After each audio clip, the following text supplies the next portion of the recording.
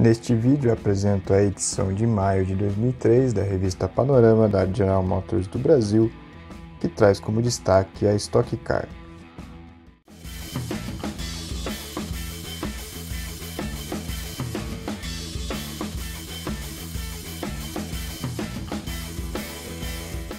Temos então a edição ano 42, número 5, maio de 2003, no destaque, mais emoção na Stock Car, também novo Ômega, Martinho da Vila, Caetano e Ingo Hoff.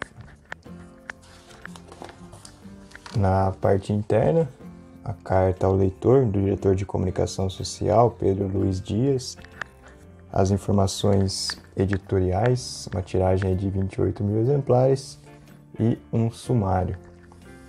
Também a seção de cartas. A primeira matéria, Universo Chevrolet, a Lebre venceu. Serviço rápido Chevrolet ganha prêmio top de marketing.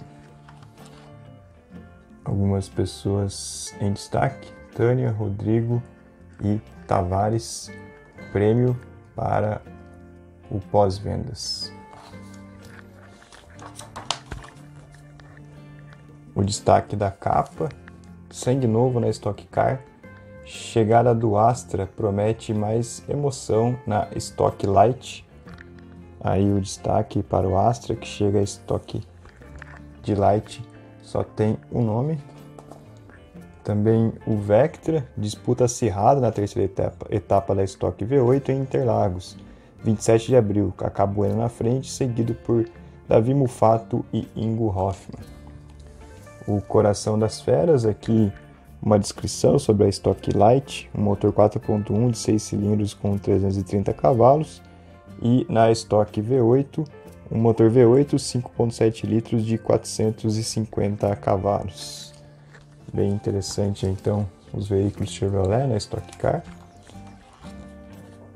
Também aí o rei das pistas, o Ingo Hoffman, 12 vezes campeão da Stock Car, corre há mais de 30 anos e não pensa em parar tão cedo.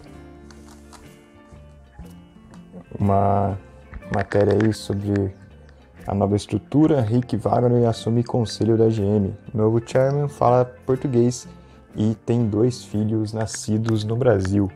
Rick Wagner desafia de aumentar as vendas e reduzir custos no cenário de retração mundial. As ferramentas do lucro Programa da ACDELCO ensina administração de negócios às oficinas. Marcas que o tempo não apaga, Festa do Corvette em Serra Negra e o centenário do Buíque em Águas de Lindóia. Velocidade 100% verde e amarela, formada a primeira turma totalmente nacional de facilitadores do GoFest. Aí no destaque, os coaches da nova turma João Carlos Penacchio, Mina Merkel, Ricardo Sacchi, Patrícia Bokeman, Michel Goldfluss, Goldfluss e Luciana Mendes. Reportagem GM, uma lição de democracia. Apesar da crise argentina, elege novo presidente e encerra a fase de transição. No Um destaque da planta de Rosário, de Rosário para o Mundo, e um Ford, aliás, um Chevrolet Corsa, Ford aqui, ranking de exportação de automóveis com a venda de 37.815 unidades em 2002, superando a Ford com 37.731 e a Volks com 14.396. Seguindo, mais um destaque da capa, Giro Chevrolet, Bem-vindo ao topo. Novo Ômega fica ainda mais surpreendente. Então, Ômega 2003 aí em destaque, Ômega australiano. Ômega 2003 de 0 a 100 em 10 segundos. Novas linhas melhoram a aerodinâmica. Badolato que gosta bastante desses ômegas australianos, né? Fina estampa Walter Wieland e José Carlos Pinheiro Neto cumprimentam Horácio Laferpiva. Hoje realizei um sonho, então uma entrevista aí com Cartano Veloso. GM e você, a turma dos números. Equipe de estatísticas e previsão de vendas monitora o desempenho da GM e subsidia até a matriz no ZEUA. No destaque, temos Armando Carvalho ao centro e equipe. Números medem, a, medem concorrência e antecipam tendências de mercado. Na seção direção defensiva, sente-se direito e boa viagem. Dicas aí para o correto posicionamento do motorista. Geme você, craques da roda e da bola. Afonso Veículos vende-se segunda Copa Banco GM. Pernas pra que te quero. Cerca de 20% da população mundial sofre de varizes.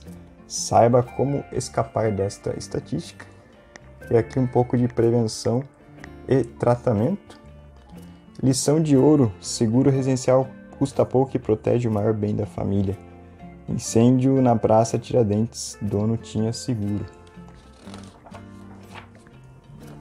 E fechando essa edição, lado B, eu gosto de me ouvir. Martinho da Vila está com a corda toda.